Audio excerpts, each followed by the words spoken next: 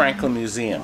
We went down there for the just reopened it in Center City, Philly, an underground museum right next to Ben Franklin's uh, house, where his original site where the house is.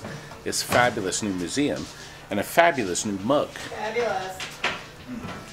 Hated it. Listen, girls.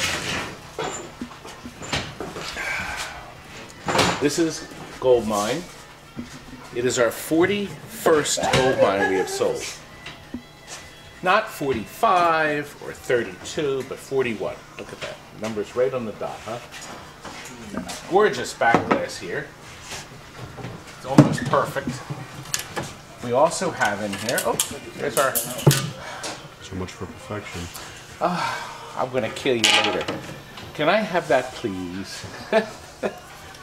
the protecting, if, if any of you collect, you know these strips pop out in a moment's notice. There, back one.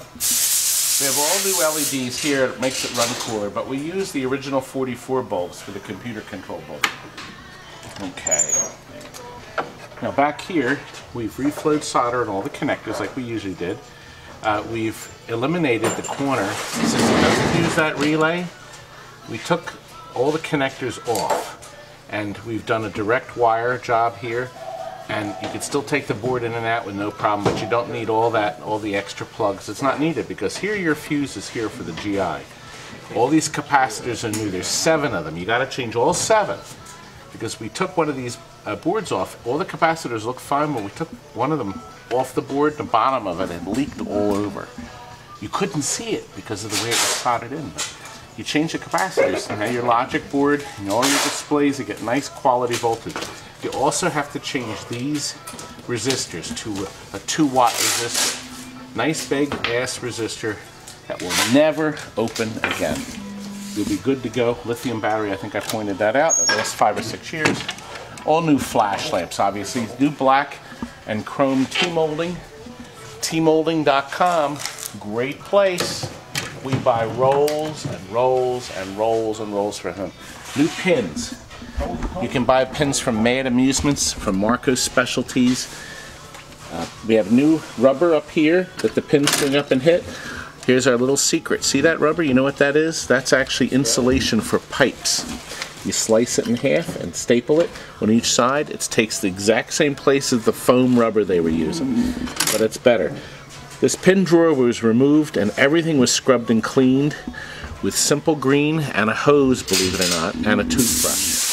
So everything is bright and clean. New rubbers on the side, rebound rubber in the back, up front, front here. Brand new metal. You can buy them from Pinball Resource, from Made Amusements, from Marco. New, excuse me, new instruction cards. That was too much coffee, folks. That's my problem. I'm, I'm over drinking. You know what? There's an old saying: two pots a day keeps the doctor away. Is that right, Tony? Three. Uh-oh, Tony's not happy with me. Three pots a day. Are you happy with me? Is anybody happy with If you would stop that annoying breathing thing that you do, they'd love you. Ah, now, here's the pack we get ready for our customer.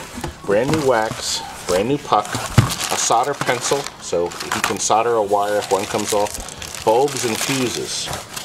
It's what we call a little goodie pack. Oh, we've changed uh, casters on the bottom. You can't see them. A lot of people skip them because you can't see them. We also put new wheels in the back so the customer will be able to roll it around and not worry about having ugly rust marks in this carpet. The machines actually have to come completely apart to clean and paint them uh, to make them look this nice. And Steven has used his brush on the side art here to make the side art look perfect again. It, it looks just terrific. What? Well, he's come to the yeah. He's somebody's come here to look for a pinball machine. He has come to the right place.